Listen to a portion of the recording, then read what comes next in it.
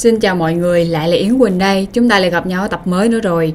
Thì Quỳnh là người truyền tải, tập hôm nay á, là 370. Quỳnh tiếp tục kể cho mọi người nghe những mẫu chuyện tâm linh có thật. Nếu các bạn thích tập truyện này, mong các bạn hãy cho Quỳnh một nút like và một nút đăng ký kênh để đón xem những tập tiếp theo nha. Các bạn có thể gửi chuyện cho Quỳnh qua hai đường liên kết. Thứ nhất là qua Gmail Nguyễn Thị Yến Quỳnh 01a gmail.com. Thứ hai là qua fanpage Facebook Y Quỳnh 23. Cảm ơn mọi người rất là nhiều. Những câu chuyện trong tập ngày hôm nay Quỳnh kể là được khán giả tin tưởng gửi về cho Quỳnh với mong muốn là chia sẻ đến tất cả mọi người. Nên là mọi người hãy nghe nó một cách khách quan và mang tính giải trí không có mục đích công kích một cá nhân hay là một tổ, một tổ chức nào khác. Giờ chúng ta chính thức vào chuyện thôi.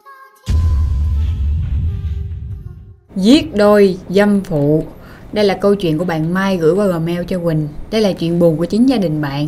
Bạn kể cách đây 4 năm, lúc đó em trai của bạn 10 tuổi. Em trai của bạn là cái dạng người lớn trước tuổi á, ngoan hiền, sai gì làm cái đó, không có than vãn, rồi nghe lời cha mẹ với chị gái nữa. Đa số là cậu ở nhà thôi. Thì trong xóm của bạn có rất rất nhiều đứa con nít tụi nó thường xuyên ngủ nhau buổi chiều khi mà trời mát mát á, sẽ ra cái bãi đất trống nè hoặc là cái ao gần nhà chơi trò này trò kia hôm đó em trai của bạn xin đi chơi và nguyên cái đám bạn đám nít trong sớm á nó qua nó ngủ luôn. À, bạn thấy trời tụi nó ríu rít quá. Tiếp người của bạn là thích con nít nữa chứ. Nên bạn kiểu ờ à, đi chơi đi nhớ về sớm. Ở làng tí chị ra chị kêu mày về. Xong là em bạn nó đi chơi. Nó chơi với đám nít làm sao á? Tự nhiên mấy đứa đó nó chạy vô nó kêu, quá trời kêu luôn. Chị mai ơi, chị mai em chị gất xuống ao. Chị mai ơi, chị mai ơi. Mày sợ hãi mà kêu cái gì cái gì? Thì mấy đứa này nó bảo, em của bạn lúc đó tự nhiên đang chơi cái đi phát xuống ao luôn, kiểu đi thẳng xuống như nè, rồi chìm nghiễm lúc mà nước đã qua cái đầu nó rồi á, thì nó mới ngợp lên, nó đập nước. Mấy đứa này đâu biết bơi đâu nên đâu có dám xuống. Rồi bạn sợ, bạn mới chạy thẳng ra ao á, thì bạn thấy mấy đứa kia nó còn đứng quanh cái ao nữa, nó tìm cách này cách kia để cứu em bạn á rồi bạn phóng xuống nha. Bạn phóng xuống rồi á, bạn bơi tới chỗ nó. Cái bạn nắm cái áo đó, bạn lôi vô. Mà bạn nói rằng á, cực kỳ cực kỳ nặng luôn. Nó lạ lắm. Giống như nó buộc cục đá vô hai cái chân của nó vậy đó. Trời đất ơi, bạn lôi bạn lôi bạn lôi. Khi mà lôi nó gần đến bờ, cái bạn bị ngập bạn đuối sức á. Khi bạn đẩy nó vô gần sát bờ được rồi, cái hai chị em bắt đầu chìm xuống. Thì may sao? Bố của bạn chạy ra kịp, bố phóng xuống, bố lôi hai chị em lên. Lên được đến bờ là thở lấy, thở để. Quá trời mệt đi. Lúc này á, người đầu tiên bị chửi là bạn. Bố nhìn bạn, bố quát, mày chơi với em kiểu gì mà bây giờ mày để em rớt xuống ao? Bạn mới nói là, đâu có ai làm gì nó đâu, tự nhiên nó đang chơi như vậy á, xong nó đi thẳng xuống ao luôn, nó nhảy phát xuống ao. Thì đám bạn của nó là người chứng kiến nó đứng lên, nó đi thẳng xuống ao, không có ai đẩy nó, không có ai dặn nó xuống cả thì hỏi nó là tại sao? Tại sao mày đang chơi mày đi thẳng xuống ao rồi mày để mày chìm ngẫm như vậy? Nó im nó im mà nó sợ lắm kìa, nó im. Sau đó là nó nhìn xung quanh nha. Thì hỏi hai đến ba lần, bố bố dọa nó luôn á, thì nó mới nói là lúc nó đang chơi với bạn, nó thấy ở gần ao có một cụ già, ông cụ này đang chống gậy đi nhìn ông cụ đuối rồi, kiểu mệt lắm rồi, mà cái đầu cụ đó là tóc bạc phơ rồi nha. Thì tự nhiên ở đâu xuất hiện một cái cô, mà cô này béo lắm. Cô này mới lấy một cây gậy, đánh liên tục vào người ông cụ. Đánh đánh đánh. Ông cụ la lên, ông cụ bảo đau, ông cụ hét lên luôn. Mà cô này không dừng lại. Cô béo đánh đến mức cái đầu của ông cụ bị tét và chảy máu ra. Sau đó là đẩy ông cụ rơi xuống ao. Nó sợ ông cụ bị cái gì á, nó mới chạy xuống ao tính đưa ông cụ lên. Thì cô béo đó cũng đẩy nó rơi xuống ao luôn. Bạn tức quá nãy giờ bạn chạy thẳng ra đây rồi bạn hỏi mấy đứa xung quanh đâu có ai đẩy nó xuống nó tự đi xuống mà. Rồi có ông già rồi bà béo nào đâu. Thì bạn mới nạt nó mày thôi liên miên đi làm gì có ông già bà béo nào quanh đây. Rồi thằng nhóc co người lại ngồi thù lù ở đó. À, bố nạt hai đứa bố la hai đứa xong nha là dẫn hai đứa về nhà tắm rửa rồi ăn cơm. Chiều tối á bố với mẹ lần lượt hỏi lại cái câu chuyện đó đó hồi chiều tại sao té ao? Rồi hình dáng người đàn ông với người phụ nữ đó ra sao ra sao? Nó kể y ren hồi chiều luôn gần chỗ bờ hồ á, nó kể làm sao là bây giờ nó kể như vậy. Lúc này thì bạn đâu có tin nó đâu bạn nghĩ nó bịa chuyện. Nó làm này kia sai rồi nó nó sợ mọi người trách nó đó nên nó bịa chuyện thôi. Bạn chỉ tin những gì mà bạn thấy. Bạn bè xung quanh nó thấy. 10 đứa bạn hỏi là thuật lại như 10 Nó tự đi xuống. Tối hôm đó bố mẹ cho thằng nhóc ngủ xong Bố mẹ ra đằng trước. Lúc này bạn vừa bước ra kiểu đứng ở trong cửa thôi Chuẩn bị ra thì nghe bố mẹ nói chuyện nghe được nha, bố mẹ nói chuyện cùng một người bác qua điện thoại. Thì mẹ kể cho bác đó nghe, xong rồi à, nói này nói kia hỏi một số vấn đề về thằng em của bạn á. Thì bác đó mới bảo, đi đốt nhang cho ông bà đi. Thằng nhóc bị một cái vong gần nhà nó kéo xuống. May mà có ông bà bảo vệ đó. Bố nghe xong những lời bác nói nha, bố nổi cấu lên. Bố kêu điệt mẹ con chó nó ác. Lúc nó sống, nó đánh đập người thân của nó không thành hình người. Bây giờ nó chết, nó còn muốn kéo vào nhà người ta nữa. Ôi bạn nghe xong bạn sợ nha. Bạn thấy nó hơi nghiêm trọng rồi. Bạn đứng ở đây bạn nghe lén luôn, Không dám bước ra. Bố mẹ nghe chung một cuộc điện thoại, Do đó là mở lo lớn. Thì à, sau đó bố mẹ hỏi bác cho một số lời khuyên. Thì bác cũng trả lời là bố mẹ dạ dạ ừ ừ. Sau đó bạn nghe tiếng bố mẹ đẩy bàn ghế lại đứng lên chuẩn bị đi vào á. Bạn lén lén bạn vô phòng. Vô phòng xong bạn suy nghĩ, Ai vậy ta? Ai mà làm cho bố giận dữ vậy ta? Cũng ngờ ngợ đó thôi, mà chắc những người xung quanh xóm mình thôi. Nghĩ tới nghĩ lui không biết là ai. Ngủ luôn, bỏ qua chuyện đó. Thì một thời gian sau á, bạn để ý được. Em bạn tối ngủ hay mơ sản lắm. Thằng nhóc đó hay la ú ớ ú ớ, rồi đổ mồ hôi túa trên mặt hết trơn á. Nó sợ lắm kìa. Thêm một cái, nó mộng du. Không phải là kiểu mộng du bật dậy đi chỗ này chỗ kia, mà nó đang ngủ. Cái nó bật dậy, nửa người thôi. nó cười, rồi nó ngã lưng, nó ngủ tiếp. Bạn với em ngủ chung phòng á, có những đêm bạn đang ngủ ngon giấc các bạn giật mình bởi tiếng cười của nó. Thì thấy nó như vậy. Vài tuần tiếp theo luôn, chứ không phải là một, hai ngày nữa, thì bạn chưa có nói với bố mẹ đâu. Hôm đó em trai có kể cho bạn nghe. Nó nói dạo này nó mơ ghê lắm. Nó thường xuyên mơ thấy một người gượt đuổi nó, là một người phụ nữ béo và mập, khỏa thân. Bà không có mặc đồ nha bà khóa thân, bà cầm cái liềm cắt cỏ, bà gượt theo, bà tính gọc vô người nó. Bà tính bữa nó vậy nè, mà nó cứ chạy chạy chạy hoài, không thoát bả. Cứ thấy bà đuổi theo phía sau bà luôn. Thì nó sợ lắm, nó rất là sợ. Nó cứ kể đi kể lại cái giấc mơ đó cho bạn. Bạn chỉ biết an ủi thôi bạn sợ là kể với mẹ thì mẹ lại nói hai chị em á, nghe chuyện ma nhiều hoặc coi phim nhiều bị ám ảnh nhóc em của bạn nó còn kể. Nó thấy cô này ngoài việc á, rượt đánh đấm rồi đời đọc nó thì còn thấy cô này qua tận nhà mình đốt nhà của mình cho bốn người trong gia đình mình chết cháy luôn. Càng nghe càng sợ nha. Bạn đã có dự định nói với bố mẹ. Thì một khoảng thời gian tiếp theo bạn thấy em của bạn ít kể cho bạn về những giấc mơ. Rồi nó ít mê sản nó không còn mộng du nữa thì bạn nghĩ à chắc là nó đã đỡ rồi. Bữa bị té xong nó bị ám ảnh thôi. Xong bạn quên bẵng cái chuyện đó đi. Thì vài tháng sau, cái đợt đó vào hè, ở quê bạn nó nóng ơi là nóng luôn, khoảng 37 đến 38 độ. Thời tiết đó mình đi ra ngoài một lát thôi là da của mình nó sẽ đỏ ẩn hoặc nó cháy luôn. Nóng lắm. Thì cái hôm đó bạn làm việc nhà khoảng 11 12 giờ, bạn làm có một xíu mà mồ hôi nó đổ hết trơn người. Bạn dự định là làm xong sẽ tắm và gội đầu thì chợt nhớ hôm chị hôm qua để ý trong toilet đã hết xà bông gội đầu rồi. Bạn mới đưa tiền cho em, bạn bảo, bây giờ em chạy ra tập hóa, chạy u ra ngoài, mua cho chị cái xà bông gội đầu. Rồi em chạy vào. Cái bạn đưa cho em bạn một cái áo lao động của mẹ, cho nó đội trên đầu vậy nè, cho đỡ nắng. Thì ờ, từ cái nhà bạn ra tập hóa khoảng 10 căn nhà, cũng gần thôi, nhưng mà nó phải đi qua cái ao hồi đợt trước, em bạn nó té. Bạn quên quên bẵng cái chuyện nó té rồi quên bẵng cái cuộc hội thoại với bố và mẹ luôn. Nên là bạn mới nhờ nó đi. Sau đó thằng nhóc em bạn nó nhìn bạn nó dạ một cái nó quay mặt về hướng cửa nó chạy dù đi mất tiêu. Lúc này bạn tiếp tục làm việc nhà thì làm làm làm làm làm. Lâu dữ trời đâu có lâu tới mức này đâu. Nhìn á, nhìn đồng hồ là thấy nó đi khoảng 15 đến 20 phút rồi. Cái bạn kia thằng này đi đâu vậy ta? Thôi để việc ở đây đi ra tìm nó đi rồi xong tiếp tục về làm. Cái bạn để việc á bạn đi thẳng ra hướng cửa lúc này bạn thấy có một người hàng xóm qua mà cổ chạy qua hất há hất hải, cổ mới đi làm ruộng về, chân còn mang ủng, người thì lắm lem bùn đất, cổ mới hất hả thải cái cái mày cái mày mày ra đây đi, thằng cu nhà mày á, nó té ao nó chết rồi kìa. Cổ la vậy xong, bạn nghe thằng cu nhà mày té ao chết. Bạn bụng đủng tay chân, bạn nói là lúc đó đứng không có vững luôn. Thì cổ bắt đầu chạy, bạn chạy theo, chạy ra cái ao á bạn thấy em của bạn á, nó nổi lên bền ở trên ao á. Thấy em bạn nổi dưới ao, bạn chỉ biết ngã quỵ xuống. Bạn khóc khóc và khóc thôi. Em bạn ngã giống như ụp mặt xuống ao mọi người. Thấy là em gian cái tay này gì nè. Rồi mẹ của bạn chạy đến sau, mẹ bạn lao quá trời lao và chỉ muốn lao thẳng xuống dưới để lôi em bạn lên thôi, mà mọi người can ngăn. Lúc sau đó là có bố ra, bố đưa em lên. Thì ờ, người ta bu đông nghẹt hết. Khi mà bố đưa em lên á, da của em nó trắng bệt rồi trắng bệt luôn. Và hai tay của em nắm chặt. Một bên là 2.000 đồng. Một bên á, là dây dầu gọi bạn nhờ em mua. Nắm rất rất là chặt. Bố với mẹ phải liên tục xin em á xin em là phải cho bố mẹ lấy ra đi lấy ra đi để thay đồ khác cho em.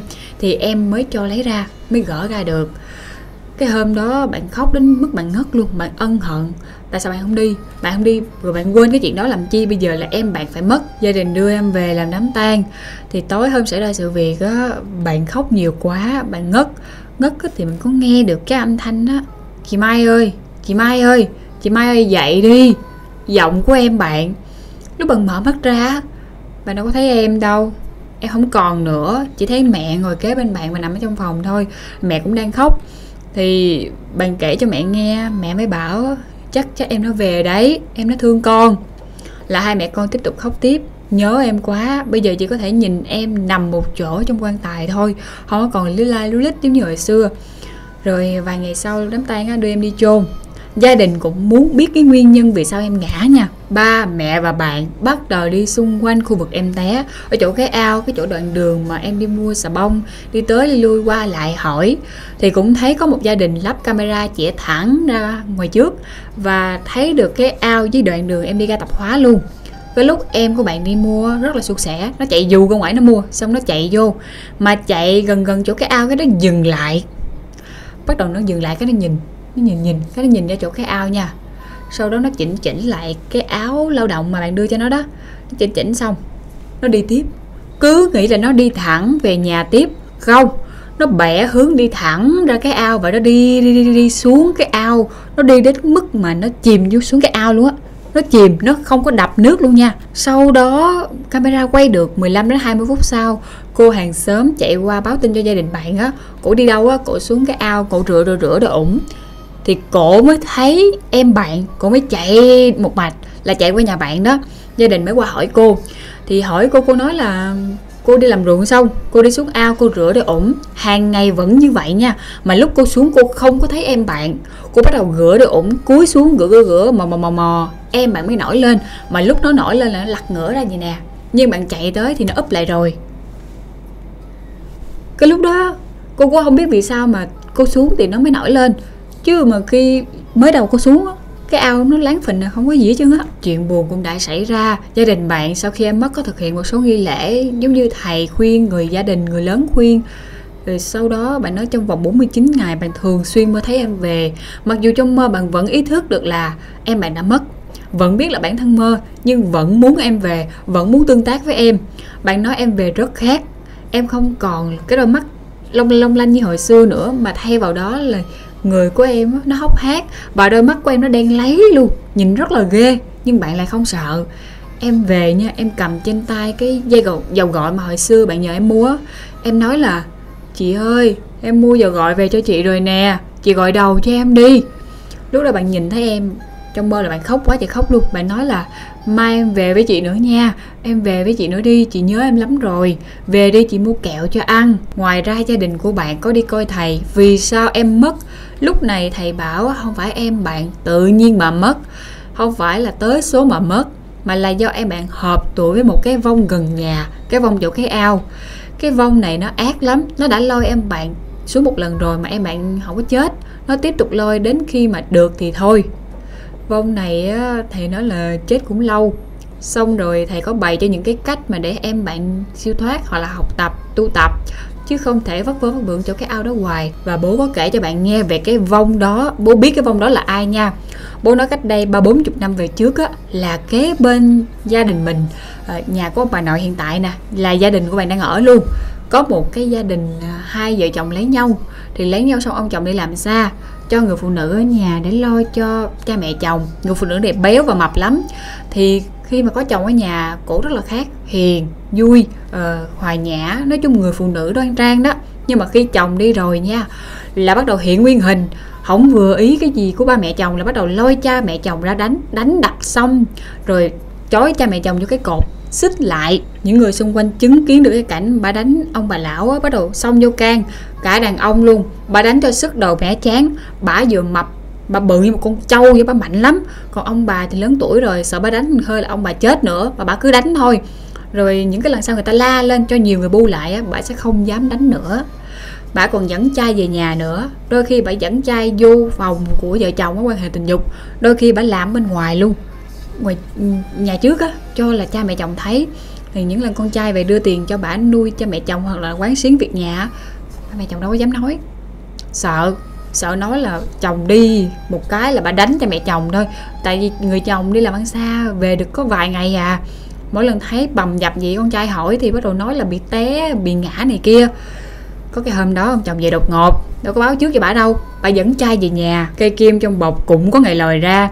Hôm đó ông chồng về đột ngột, thì xui cho bà. Bà và tình nhân làm ở trong phòng trong á, rồi bà xích cha mẹ chồng ở ngoài trước cửa sáng sớm đến giờ chưa có cho ăn nữa, lúc ông chồng về là cũng sập chiều rồi. Trời ơi, thấy cha mẹ của mình bị xích như vậy, hỏi ra ai, vợ mình làm, chưa cho ăn từ sáng đến bây giờ luôn. Rồi bắt đầu ông tức nha ông tức đi người luôn. Ông đi ra thẳng ngoài sau bếp ông lấy con dao bầu ông vô trong phòng ông đập cái cửa ra.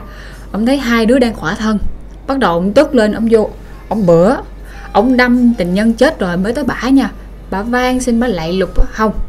Ông đâm, sau đó ông chặt ra từng khúc ổng đem xác của người phụ nữ đó với tình nhân á, ra ngoài ao dục ở đó, xong rồi kết liễu đời mình ngay tại đó luôn.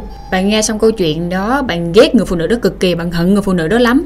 Lúc sống thì sai với bố mẹ chồng, sai với chồng, lúc chết còn hại em bạn nữa. Và bạn cũng thú thật với bố là hồi xưa em có kể cho bạn nghe là thấy người phụ nữ cô béo, khỏa thân à, cầm liềm được em rồi đốt nhà gia đình mình.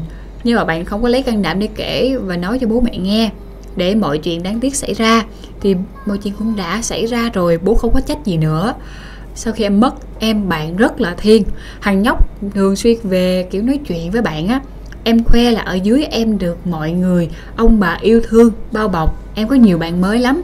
Và đặc biệt á, em báo mộng cho bạn những cái điều sắp tới bạn cầu cái vấn đề gì trong học tập á là em sẽ cho nha. Hiện tại bạn vẫn cảm giác em còn bên cạnh bạn và gia đình. Mọi người thấy cái ao đó có ba người mất ông chồng tình nhân và bà vợ. Đã 40 năm rồi ông chồng và tình nhân có khi á, đã tích đủ phước và chuyển kiếp. Còn người vợ vất vơ vất vưởng hoài thôi. Lúc sống bà này tà dâm ngoại tình hung ác sát sinh bất hiếu. Làm sao có thể chuộc được những cái lỗi lầm khi sống đây? Bà này có thể kéo con nhóc đó xuống và kéo để bầu bạn thôi chứ muốn đầu thai là khó lắm á tiếp đến là câu chuyện của bạn Huyền bạn bị ma dọa liên tục trong 6 năm bạn Huyền kể rằng năm nay là Huyền 22 tuổi. Bạn gặp Mai lần đầu tiên là 14-15 tuổi, lúc đó còn học cấp 2. Bây giờ đi làm luôn rồi mà vẫn còn thấy. Thì có những cái lần á, người ta cho thấy chỉ là người ta vô tình lướt qua lướt lại hoặc là rung lắc cái giường. Nhưng có những lần á, người ta tác động vật lý lên người bạn luôn. Bạn thấy rõ rành rành người ta trước mắt, người ta nói bạn không có nghe được thôi. Thì à, lần đầu tiên mà bạn gặp ma là năm bạn lớp 8 tại vì bố mẹ của bạn từ nhỏ đã đi làm xa bạn không ở với bố mẹ. Đi làm xa thì mới có nhiều tiền gửi về cho ông bà và cả bạn. Từ khi bạn sinh ra đến lớp 8 là ở với nội nha sau lớp 8 là ở với ngoại. Thì mới về ở với ngoại được khoảng thời gian ngắn thôi bạn hay tin là có một bà cụ trong xóm mất. Bà này khoảng 70 tuổi. Bà cụ đó mất được khoảng một tháng. Có một cái đêm bạn đang ngủ với ngoại. Thì trên đầu nằm của hai bà cháu ngước lên một cái sẽ thấy cửa sổ. Tối đang ngủ như vậy, bạn giật mình tỉnh giấc. Thay vì bạn nhìn xung quanh phòng, bạn ngước lên chỗ phía cửa sổ, bạn ngước gì nè. Bạn thấy có một người, cái bóng đen thôi, mà hình dáng con người đầy đủ tứ chi nha. Chỉ là từ trên xuống dưới, cái mặt của người đó nó trơn chuột à. Ngồi trên đầu nằm của bạn nhìn bạn như nào? Thì bạn nhìn lên, hai cái mặt song song nhau, bạn thấy chỉ là một màu đen nhưng mà có thể cử động. Lúc này bạn hoảng quá, bạn hét lên thì người đó bịt cái miệng của bạn như vậy, bịt cứng ngắt luôn. Bạn sợ hãi quá, bạn vùng vẫy thì sau đó cái người bạn nó cứng dần cứng dần không vùng vẫy được. Bạn cứ hét bà ngoại nằm kế bên mà bà ngoại không có nghe. Sau đó bạn mệt quá, bạn thiếp đi bạn có kể chuyện này cho bà ngoại vào hôm sau. Ngoại đã làm cái gì đó mà từ cái hôm đó về sau không thấy nữa. 3 năm trôi qua, đến khi bạn học lớp 11 thì gia đình bạn có đập cái nhà đó và xây lại, xây cho bạn hẳn một cái phòng riêng luôn. Bạn ở trong phòng đó một tháng 30 ngày, Bạn bị đè hết 20 lần. Bạn nói có khi đè nó cứ khờ người, Niệm Phật cũng không có hết đâu. Nằm đến khi đè mệt rồi người ta sẽ buông mình ra thôi nhưng mà có bốn lần bạn mơ thấy hai đứa trẻ. Và bạn đoán được hai đứa trẻ này là ai. Tả sơ cái phòng của huyền cho các bạn dễ hình dung.